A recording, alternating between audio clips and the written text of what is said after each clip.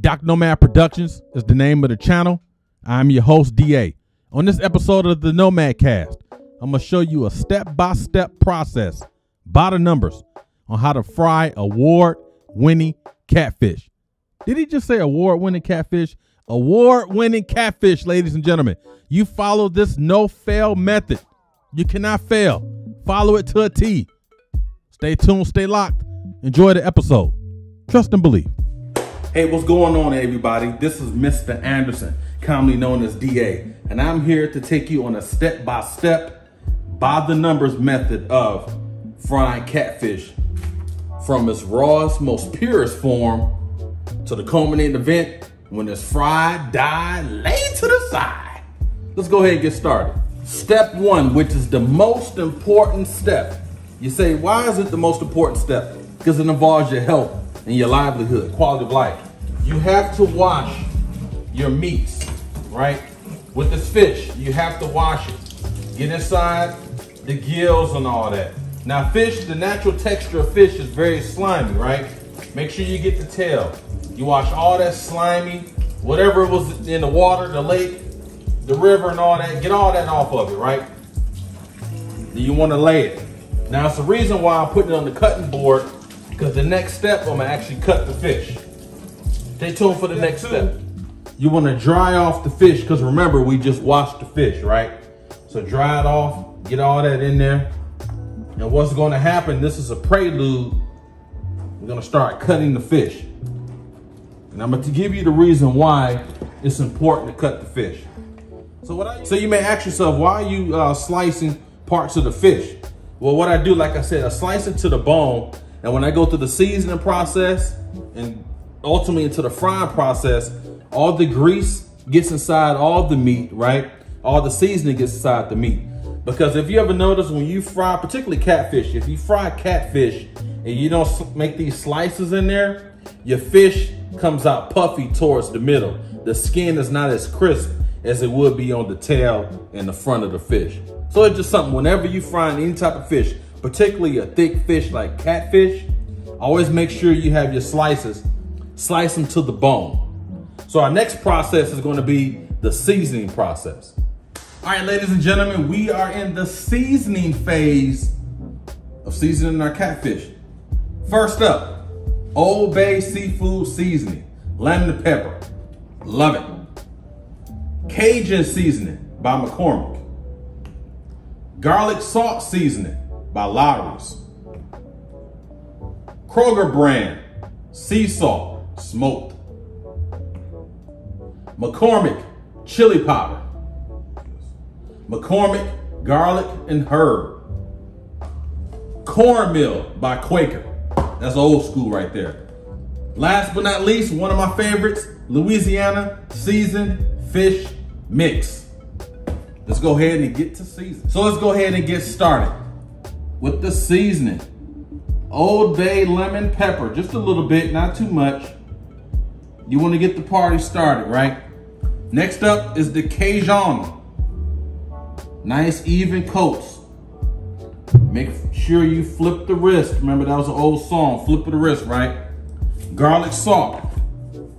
Not too much, just a little bit. Now what's happening, you're getting all these flavors inside the slices that we made, right? Smoked sea salt. There we go, look at that. It's gonna give it a nice smoked taste, especially when you get ready to fry it. Chili powder. Again, you wanna flip the wrist, nice even coats, not too much, just a little bit. And we wanna use some of our garlic herb. Just adding a little flavor. Now, we'll repeat the same thing. I'm gonna flip it over and repeat the seasoning. So now what I'm doing now is placing the fish inside of this Rubbermaid container. You know, back in the day, the elders, they used those um, paper bags and plastic bags. Don't use those, folks. Not good. Now, you may say, hey, Mr. Anderson, what's happening next? Well, next thing I wanna do, I wanna add cornmeal. Now, what I like to do with the cornmeal, I like to keep it keep it covered the whole thing, cover all the fish, use some of this lemon. And I place this Louisiana in here and I cover all of it. Every last piece of this fish is covered, it's smothered. You can't find it, it's hidden everywhere. So once I do this, now take the lid, make sure it's secure, because once you get to shaking, the meal is everywhere. And you shake it. You hear that? That's the shake of greatness. That's the sound of greatness. That means great things are about to happen, ladies and gentlemen. You shake it, you can make a song of it. You can do whatever you want. Now, you look at it, you may say, hey, this is pretty good, Mr. Anderson. But wait, there's more. I like to add additional cornmeal to it because I like the catfish nice and crispy. Added some more cornmeal. We'll add some more to Louisiana. We drowned it, man. Hey, picture this as a lake or ocean. We drowning the fish. Ain't no lifeguards out here, baby. So again, now, before I do that, let me add a little bit more lemon pepper. Again, this is personal choice. Add a little bit more Cajun. Now, again, make sure the lid is secure, like so. One day, you shake it.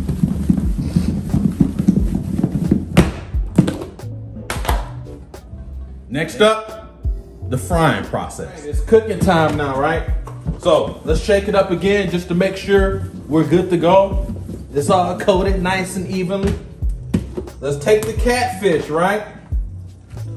The deep fryer is already set for 375 degrees. Let's place these jokers in.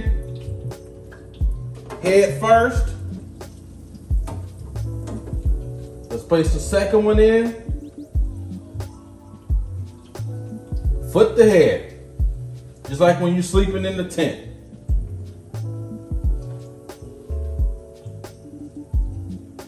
All right.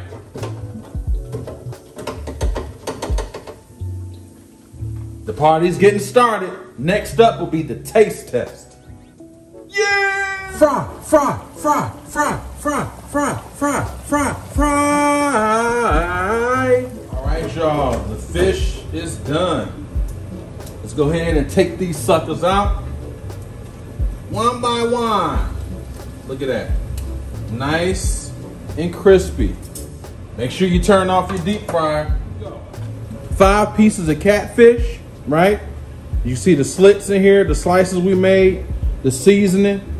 It's all ingrained in there. Everything is integrated, consolidated. And uh, pretty soon I'm gonna put some hot sauce on this to make it validated. All right, there you have it. Fried catfish. With an added bonus, I made some grits with it as well. A lot of the Southerners, the down south folks will say, hey, this is the breakfast of champions. Now, Louisiana hot sauce. You cannot eat catfish or grits without Louisiana hot sauce.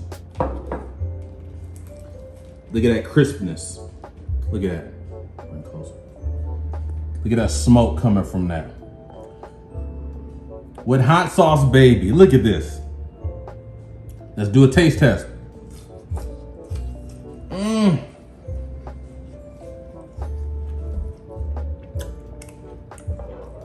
Good to go. Fried catfish and with a bonus. Grits and hot sauce, baby. Mmm. Mmm think it's time for now.